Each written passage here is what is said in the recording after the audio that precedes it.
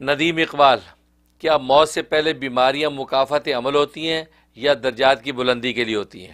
بقیہ ویڈیو دیکھنے سے پہلے ویڈیو کو لائک کریں رحم ٹی وی چینل کو سبسکرائب کریں اور بیل آئیکن پر کلک کریں۔ شکریہ۔ بہت اچھا سوال کیا ہے۔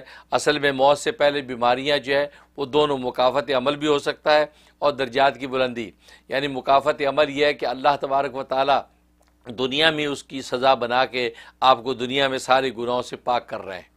ایسا ہو سکتا ہے کہ دنیا میں انسان سے کوتاہیاں ہوئی ہیں۔ اللہ بیماری کی تکلیف کی شکل میں آپ کے سارے گناہوں کو ختم کر رہے ہیں اور یہیں پر اس کا بدلہ دلوا رہے ہیں تاکہ آخرت کے اندر اللہ تبارک و تعالیٰ صاف ستھرا اپنے پاس پیش کر لے۔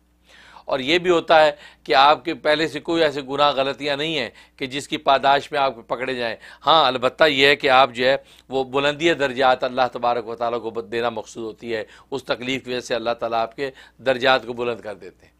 اور ایک روایت میں آتا ہے کہ بس اوقات انسان اپنی عبادت کے زور سے بلند اس مقام کو حاصل نہیں کر پاتا، تو اللہ تبارک و تعالیٰ اس کو بیماری یا مصیبت میں مبتلا کر کے جو ہے بڑی تیزی کے ساتھ اس بلند مقام تک پہنچا دیتے ہیں۔